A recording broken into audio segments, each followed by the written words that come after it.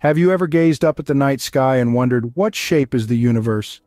It's a question as old as humanity itself, yet it remains a subject of intense debate and research among the brightest minds in the field of cosmology.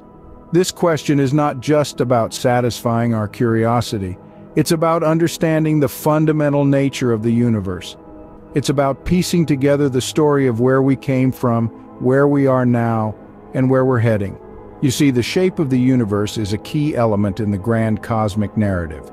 It's intimately tied to the universe's past, present, and future. It influences how the universe expands, how galaxies form and evolve, and how the universe will ultimately meet its end. So what shape is the universe? Well, as it turns out, the shape of the universe might not be as straightforward as it seems.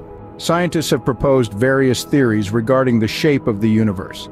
Let's dive into the three main theories the flat universe theory, the open universe theory, and the closed universe theory.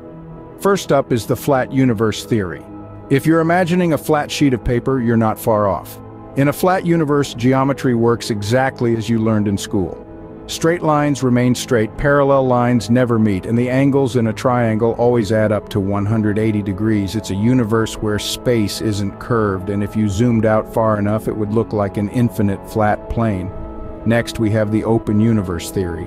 Imagine you're in a saddle-shaped universe. This is what scientists mean when they talk about an open universe. In this scenario, parallel lines would diverge from one another and the universe itself is infinite, stretching out without any boundaries.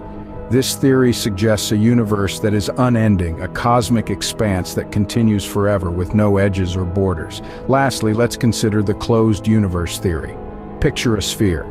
In a closed universe, parallel lines would eventually meet.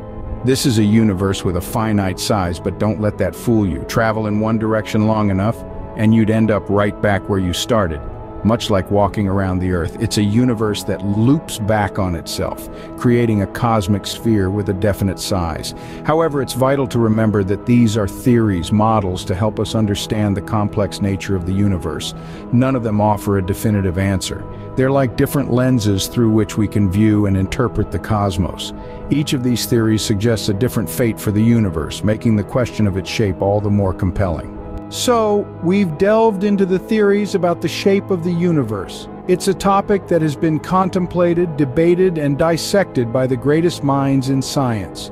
We've explored the idea of a flat universe, where the fabric of space and time extends infinitely in all directions. We considered the open universe theory suggesting a universe not just infinite but also curved outward. And we've examined the closed universe theory, proposing our cosmos might be a finite, inwardly curved space, yet it's essential to remember that these are just theories. They are the best models we have based on our current understanding and observations. Science, by its nature, is a process of constant discovery and refinement. As we continue to probe the cosmos, gather more data, and develop more sophisticated tools, these theories may evolve or even be completely overturned.